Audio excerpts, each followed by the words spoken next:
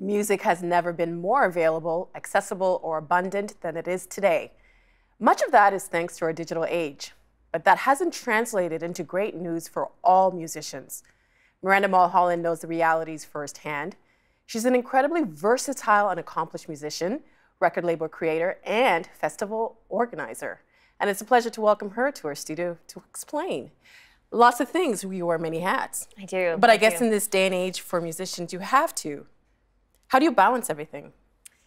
Well, there's a lot of there's a lot of time sort of organizing my time Yeah. uh, in a day-to-day way. Um, but if I find that because everything sort of flows into everything else, um, the label, the festival, my own work as a soloist and uh, in bands, um, there is a marriage of all of them. So it, there's sort of a natural, organic progression to to my day. Um, where it does lead into all these things, but certainly uh, scheduling is difficult. Well, I want to show people at home uh, you in your element as a musician. Let's take a look. but not in heaven. But on the sixth concession, we'll find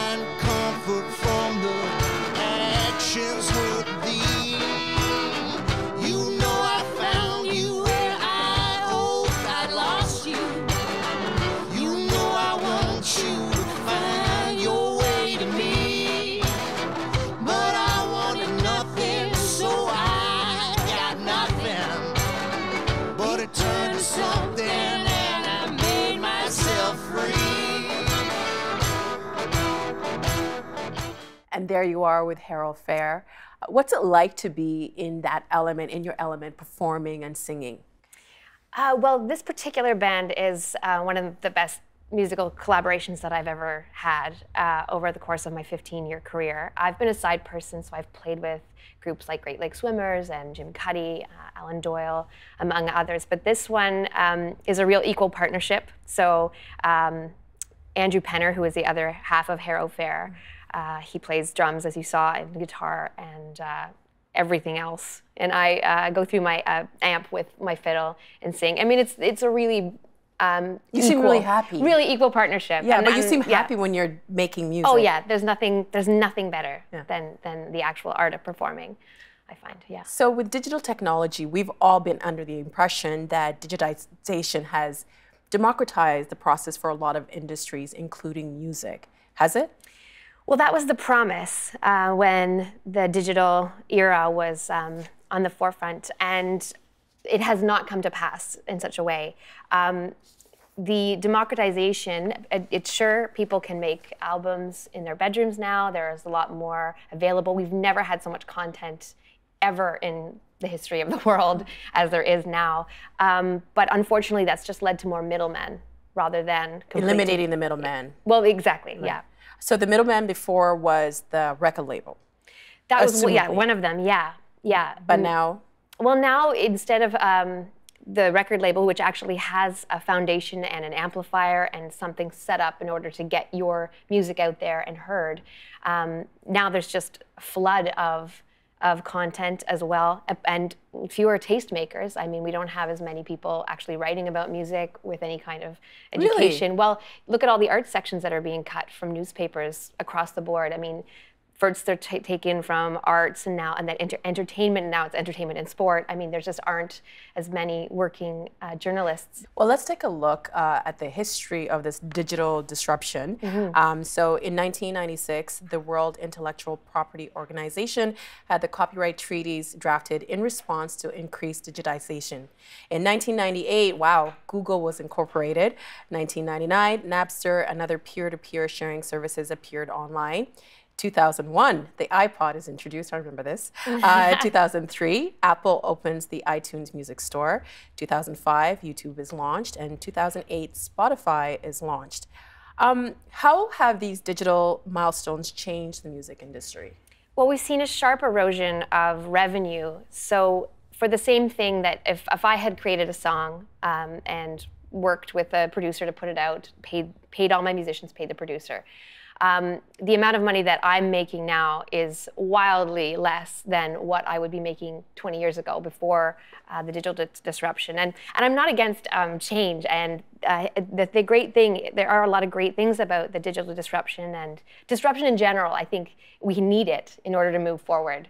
But um, But you're making less money now because radically less money, yes. because of uh, people are not buying music, or people are not buying music. I mean, we had the, or as you saw, you know, Napster and pirated music. Uh, the value of music has gone down. People, even though people can have, you know, on your phone, you have any song that you want in the whole wide world, for you know, if you paid for it like nine ninety nine. Um, but we still have seen this. Uh, the creators get less and less and less of this revenue. And how has this affected you personally? Well, it's been interesting because I entered the I entered the marketplace um, as a small business. I mean, every musician is a small business uh, in 1999. So a really bad time to start being a professional musician. But I was still seeing how the uh, how that come before, what had come before me. So I was in parts of bands that had had the benefits of actually selling records and making making money from from their work. Um, and so I, I have noticed dwindling album sales. There's a marketplace that's just flooded with, with content. So there's an exhaustion. I mean, people talk about the Netflix uh, effect. But I don't see it so much as the Netflix effect, which means that people aren't going out as much because they can stay home. But I think it's a symptom of just being overwhelmed with content. So you don't know what to choose. You don't know what to choose. I mean, if you see that there's a concert going on at Massey Hall, or you can you could see ten other bands the same night. There's a comedy show. There's uh, you go to a movie. There is sort of an exhaustion, I think, of just well, just stay home and you know and chill. Chill, yeah. and you know that's it's too bad. I mean, I I, I think that um, you know philosophically that's that's challenging, and I think that that's sort of a it's something that culturally we'll have to address, but. Um, but, it certainly affects me greatly, yeah. But, but I think some people would argue that, you know, you have certain artists like the Drakes, the Justin Biebers, Shawn Mendes, mm-hmm. they've been able to take advantage of this digital disruption and actually probably been more successful than if it hadn't existed in the first place. Mm-hmm. So why does it work for some artists and not others? Well, the uh, the way that the the business models are structured with something like Spotify is it's based on market share. So if I put out a record the same month as Drake, um, and my album was spun a certain amount of times or streamed on, on this on this platform uh, because Drake would have such wildly higher streaming numbers as a more popular and more mainstream artist, um, one would argue, uh, his per stream number would be higher than mine. So it's not there's not a general you know if you made a record and I made a record, our what we got paid would not be the same. And do you think too that um, you know in music there's so many labels, and I don't want to label your music, mm. but do you think that because Drake has played on pop radio that that, that benefits those oh, artists? of course. I mean, I, I just just in terms of being. Um, a more mainstream artist would benefit him. The way that the algorithms work, the more times you're played, the more likely it will be that you are played at random. You know, that's just how it works. Mm-hmm. So again, it's that market share uh, business model that puts the fringe, the niche artists at risk. And you know, speaking as a niche artist, I mean, my first band was a totally unpopular jazz cabaret opera, you know, noir thing. Um, that's pretty niche. Uh, but, but I'm thinking it would you'd be reaching a lot of different people because you're so many categories, well, right? Think, you know, yeah. but uh, it's um, sadly not to. It was, it's it's in the past, but um, but but the thing is, is that you know the argument is made. Well, you could reach the people who like jazz, cabaret, noir, those five people around the world. You can now find them on the internet. Well, you can, but because it's a niche and it's being streamed less and less, the less it gets streamed, the less likely it is. Your ability to find those people is greatly diminished. And so the way that Spotify works mm-hmm. is that they give um, a certain percentage to the labels, and then the labels give the artist a, a certain percentage of that money. Well, it depends on uh, how it's how it, you're set up. So mm-hmm. myself, I have a, um, a boutique uh, record label, and I have ten artists on my label, and um, I get through my distribution company. They they funnel the streaming income which is, is quite risible, um, to me, and then I give it to my artists. They take a percentage of it, the distribution companies. So that that's the way that that works in my particular case. There's been talks of Spotify becoming a label itself, mm-hmm. and therefore eliminating eliminating the so-called middle person. Um, is that a good idea or a bad idea? Well, once again, it's sort of just creating another problem, I think. I mean, I applaud them for trying to make new content and trying to do something that um, we've seen the success of this with Netflix. Obviously, Netflix has been creating their own content. Uh, rather than using other people's content. But that in there lies the problem because now we have an algorithm-based company who is putting their content first. If you go to Netflix, what comes up at the first bar? All the Netflix. Exactly. Yeah. So once again, if you're a niche artist and you're trying to get your music heard around this, you know, democracy platform, uh, now you'll be in competition with Spotify uh, based productions. So you, you know, once again, the, it's, it's stacked against you. I'm wondering when was, um, you know, like back in the 50s and 60s when I guess was it a, a resurgence of music? Uh, people became, uh, there was so much music to choose from. What was it like back then? Were artists getting paid fairly? Well, I, I haven't got my time machine, but um, you know, but I, I have seen the results. You know, it's interesting. I just saw this amazing keynote by a man named Jonathan Taplin, uh, and he was talking about his friend Levon Helm, who was in the band. And uh, now this is a U.S. Obviously, some of the band were Canadian, but uh, Levon is, a, is an American citizen. And because of some of their laws that they had in place, um, he was not making any uh, res- uh, revenue off of some of his songs that had been written. It was called the Classics Act before a certain time. So even though he had been in this very wildly successful band and written some of these amazing songs, um, after a certain point, he wasn't getting any money for them. And uh, this became a huge problem. He ended up, he got very sick and uh, couldn't pay his, his medical bills. And it got to a point where, you know, this legend couldn't sustain himself. And, and Jonathan, you know, was talking about this particular tragedy uh, about how we're not taking care of our, of our artists.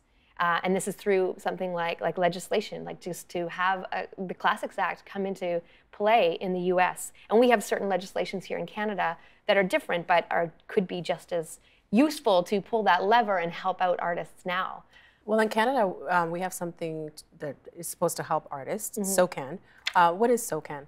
A SOCAN is a collection. What they do is they, anytime music is played, they, uh, they identify who wrote it and they get make sure that the creators are being paid. It's a very it's a very good organization. And you're a member of it? I am, yeah. Okay. Um, let's just take a look at 2017. Some good news and some bad news for SOCAN. Um, there were record revenues for its 150,000 member songwriters, composers, and music publishers in 2017. Uh, total performing revenues in 2017 was over $350 million, a 6.4% increase over 2016. Internet audio streaming revenues hit $49.3 million, a 46% increase over 2016. Now, the bad news was the vast majority of SOCAN members who received payment for their stream music in 2017 earned an average of only $38.72 in, despite the growth. What do you think of that? Well, once again, that speaks to the market share question. So, um, you know, Drake did very well. Uh, Weeknd, the Weeknd did very well, um, and and that's that's wonderful, and it's good. It's good news. Uh, you know, our politicians are certainly making a meal of it. It's it is good news. Um, we've also t- had such a drastic drop off in revenue. So to announce any kind of incline makes total sense because now we at least have some models like like Apple Music, which you have to pay for. They have no ad-based uh, subscription series. Um, Spotify does have ad-based, and they also have subscription. And more people are hopefully subscribing. It's only $9.99. Um, But I'm, I'm guessing the majority don't. well, the, unfortunately, majority do not uh, as of yet. Their projections were um, off. They had hoped to have a lot bigger uh, subscriptions, uh, uh, subscribers, I guess, um, and they don't. Uh, the biggest, you know, the biggest problem in this particular landscape right now is YouTube, who pays the record lowest amount to songwriters. a lot of people would think that YouTube is um, is a great place to showcase new artists, uh, new creators. Why do you say that? Um, okay, so YouTube is uh, is under um, oh my Google um, is under uh, a lot of um, safe harbor rules because of our government, which which means that it doesn't have to abide by certain tax laws, and it doesn't have to pay um, royalties to to a, to a certain extent. So what we're actually having here is a corporation that says that they are merely, as they call it, I think, dumb pipe, but it's sort of just sort of the storefront window. They, they, they're claiming that they're just the window and they have no influence over what goes in the window because it's user uploaded content. Um, so because they can say that, they get they get this safe harbor. As soon as they start to do something like Spotify, where they're programming streaming and they claim that they're sort of a broadcaster, they would have to pay those taxes. They don't. So um, right now, even though they now are generating content through those dumb pipes and suggesting things to you, if you go and you you listen to a song you like, though something will come up next. Yeah. And so they actually are a suggesting service. So they're sort of going against what they said that they weren't going to do. And these laws are from like the 1990s, right? Yeah, I mean, a lot of these these things that we have in our Copyright Act and that we have that our government has put in place to help uh, start tech companies to make sure that they had footing in a new environment. Um, the environment has changed so drastically over the last 20 years. We really need to update them and take a look at who they're actually protecting. Because now we're protecting Silicon Valley and we're not protecting Canadian creators. Because when you think about it, if all creators decided not to do anything on YouTube, or if uh, all companies said you can't use our stuff, what would be on YouTube? Well, exactly. But uh, they do. I mean, a lot of artists go and say, please take down my music. Someone has uploaded it illegally. But it's whack a mole. I mean, it comes down and then it goes back up again. So that's, that's a real problem. What are industry cross subsidies? Uh, industry cross subsidies, uh, we have one sort of big example of this. Um, it's the radio royalty exemption. And it was created, I think, in 1997. And it was for, you know, our country is so big.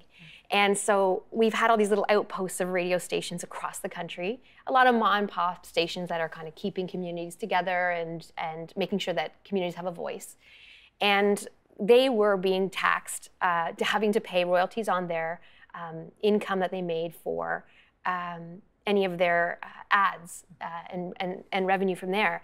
So there was a subsidy uh, made, which was um, they only have to pay $100 in royalties on their first 1.25 million in, ta- in ad revenue that they make. Jeans cost more than that. yeah, Under, yeah, I know.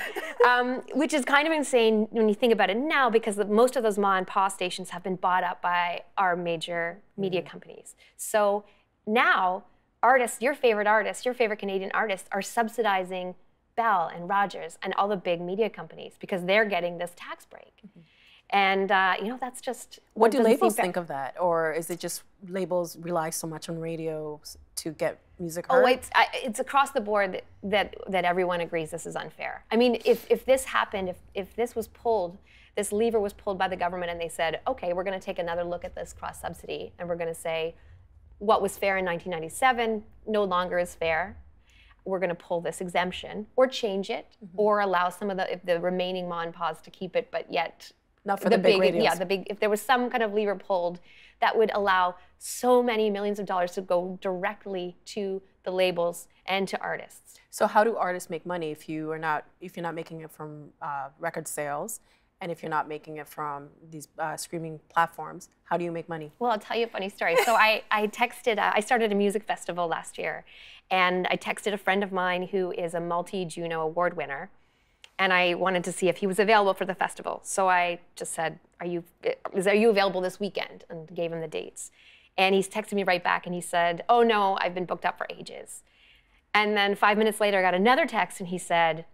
Oh, did you mean as a musician? I thought you wanted to rent my Airbnb. Oh no! So I, I know. So this is a Juno Award winner, and and So you have to hustle, like I you have have to. to hustle. I mean, once again, you have to wear a lot of hats, and um, and I even feel though I was very fortunate uh, for a lot of reasons. One, my parents really believed in music, Mm-hmm. and um, and gave me violin lessons, you know, when I was four, and really made me stick with it, which was you know, very important and taught me the, the real benefits of, of live performance and, and, and music. But um, I also did get to see what the previous generation's lives had looked like. So a lot of the people that I play with um, had had a very different career um, leading up the first 10 years of their career than I make a did. living, right. And, and so to sort of see, I mean, at first I thought maybe I'm just not good enough. But I started talking to other friends of mine, and it was across the board. I mean, people that I thought were doing way better than me, but um, but it was a real a real problem right now. And so the people that I actually want to advocate for and try to change some of these things is the younger people who are coming up now,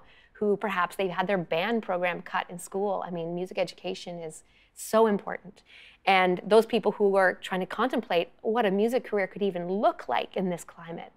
And so there's, you know, things that we can all do to help these young people actually be able to see a viable career in music. What do you think needs to be changed then? Well, I think the government does need to take some steps. Um, the radio royalty exemption is one. Um, there's another one that's actually really interesting. Who knew that copyright could be so interesting? but um, so one is just a slight change in the wording on the Copyright Act. Uh, I myself played fiddle on the TV show Republic of Doyle. So mm-hmm. whenever you hear a fiddle on that show, that's you, which is often it's me. That's all. That's and so cool. yeah, and, and so you know I did those sessions with a great um, composer and, and went into the studio and, and recorded those. And um, now because of a tiny wording of what what it, a sound recording means, anytime that that that show is played and it's syndicated worldwide now. So I mean, I've seen it in Holland, I've seen it in France. You know, Allan Hawco dubbed in French. So you get lots of checks? No, because every time that's played, I do not get paid. The composer gets paid, but I do not, and the and the actors get paid. But because of this tiny definition of sound recording in the Copyright Act, I don't I don't get paid. How do you explain that to people? Because they might they must think that your music is on a television show that people watch around the world, mm-hmm. but you're not getting any money from it.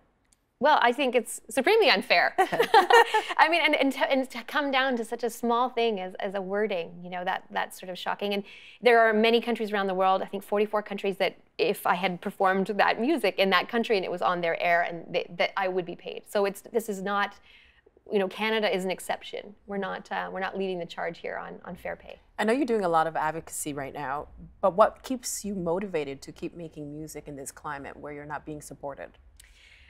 What keeps me motivated is live performance and and and just the joy of performing and and creating something that you know in this time of so much content live performance is something that will never happen again. Mm-hmm.